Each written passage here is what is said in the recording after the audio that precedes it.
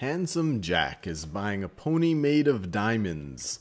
The price of the pony is P dollars, and Jack also has to pay a 25% diamond pony tax. Match the expressions to their meaning for handsome Jack. And they say multiple expressions may fit in the same may fit the same description. All right, so in this bucket, we have the price of the diamond pony before tax. Well, they already tell us that the price of the diamond pony is P dollars.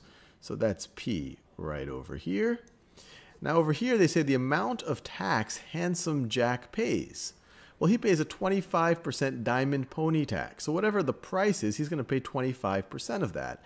Or another way of thinking about it, he's going to pay 25% is the same thing as 0.25. So 0.25 times P is the amount of tax he's going to pay on this diamond pony. Now, they say Handsome Jack's total bill for the diamond pony. Well, he's going to pay P for the pony plus 0.25P in taxes.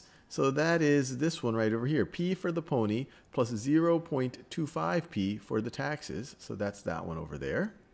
But if we look at this, you, you could view this literally as 1P plus 0.25Ps. Well, that's the same thing as 1.25P. So that's the same thing as this right over here. So it's 1.25p. And these other three don't seem to fit in any of these categories. So I'm going to put it into the not used. We're required to categorize everything. So let me put this in the not used. It's falling off the screen, I realize. So let me put this in the not used.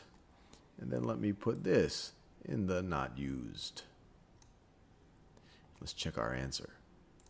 We got it right.